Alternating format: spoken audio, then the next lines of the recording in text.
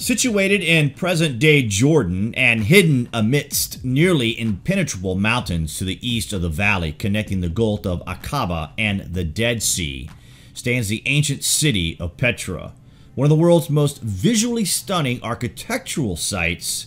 Petra, meaning the rock in Greek, is an abandoned necropolis of temples and tombs cut into towering cliffs of red, pink, and orange sandstone. The so-called monastery of Ad Deir found in Petra and along with the iconic wonder of Al-Khazneh are simply majestic.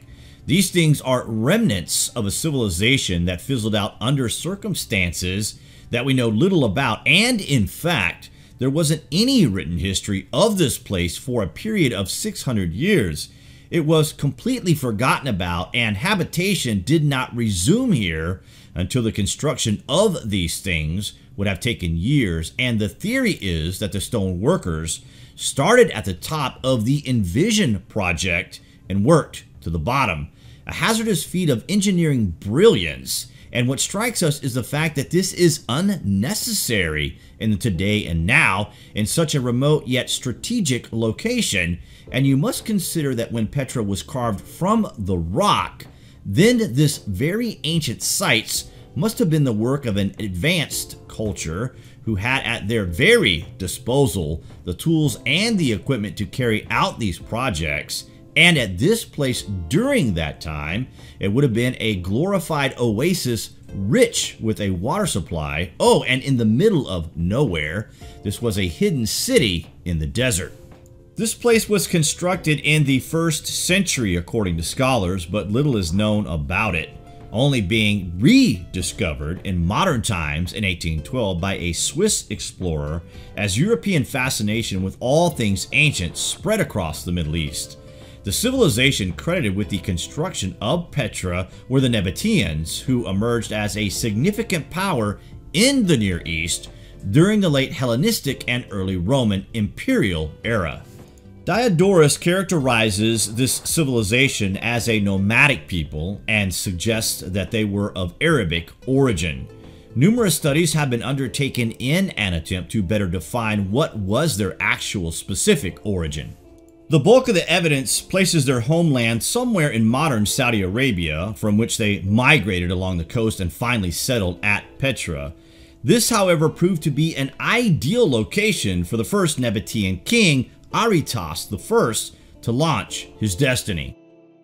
Tucked away in the Wadi Musa Valley, Petra guaranteed security to its inhabitants. The primary entrance to the city was through the Siq, a narrow gorge about 3 kilometers long, 100 meters deep, and narrowing in places to a width of only 3 meters. Therefore, the passage to the city need only be guarded by only a few men, and could be blocked with boulders to prevent enemies from entering. As masters of hydraulics, they created an intricate system of cisterns, tunnels, catchments, and a gravity-fed pipeline fed by the Ain Musa.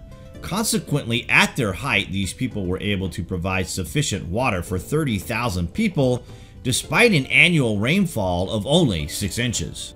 Petra's position at the crossroads of trade gave this location the power to control the principal caravan routes, which traffic gold, precious stones, myrrh, and other exotic things, and so as the Nabateans grew rich from their caravan trade, the former nomads became sedentary city dwellers. Many archaeological remains from Damascus to the Sinai bear witness to their urbanizing activities. However, their capital Petra remains the most spectacular example. It is thought that Petra prospered for 276 years under this dynasty, reaching its zenith under Aretas IV. However, upon Rabbel II's death in 106 AD, the Nabatean kingdom was annexed by Rome. Since Petra was not on the pilgrim's route to Mecca, what livelihood the city had went into a rapid decline. According to certain traditions, it was Miriam, the sister of Moses, that died and was buried here.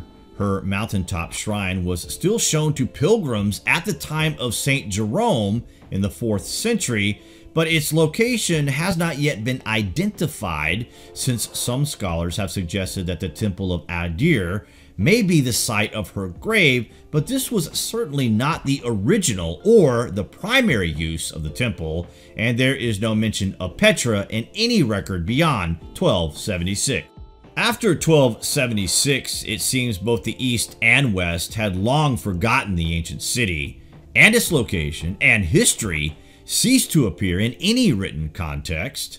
Most scholars of the following eras viewed Petra's existence as little more than a legend, and indeed, it was only stories of the lost city in the desert that existed in oral legends. Consequently, it wasn't until Petra's rediscovery in 1812 by the Swiss explorer that the myth of a rose red city that was half as old as time became a reality.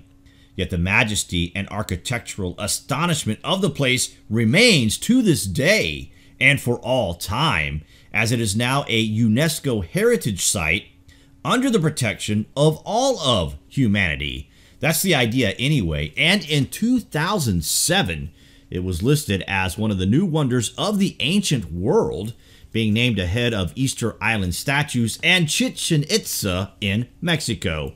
What do you guys think about this anyway? Comments below. And as always, thank you for watching.